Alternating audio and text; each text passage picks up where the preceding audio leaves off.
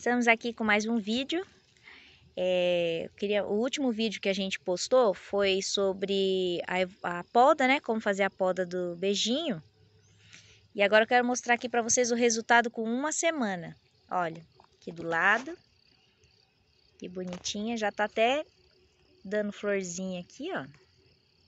Vou mostrar ali do outro lado. Olha que gracinha.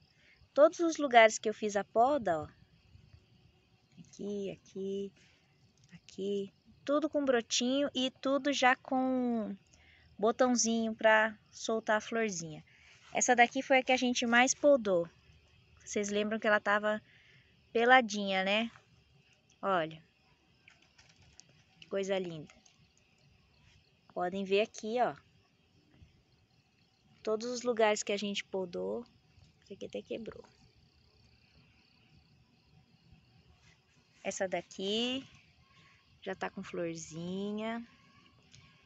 Essa daqui, ó. Todas elas já dando flor. Para vocês verem, com uma semana só. Uma semana de poda, daqui mais ou menos duas semanas, elas já vão estar tá todas com flores de novo. Então, era só para mostrar o feedback aqui. E agora eu vou mostrar o próximo vídeo já com duas semanas. Agora vocês estão vendo o resultado de 20 dias. Todas já recuperadas aqui, com flores. Vou mostrar a outra também, com florzinha. Aqui dá pra ver onde foi, onde foi cortada aqui, ó. Cheio de brotinho. Mais uma aqui, ó, cheia de florzinha. Essa daqui foi aquela lá que a gente, que eu fiz o exemplo de, da poda, ó. Pode ver todas com botãozinho, com 20 dias. Todas elas. Essa daqui já tá cheia de florzinha. Coisa linda, né? Então, pessoal, tô aqui mostrando o resultado aqui para vocês.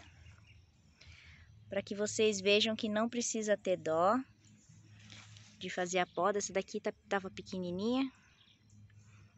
Não precisa ter dó que se você fazer a poda como eu falei, ó, elas vão responder bem, ó.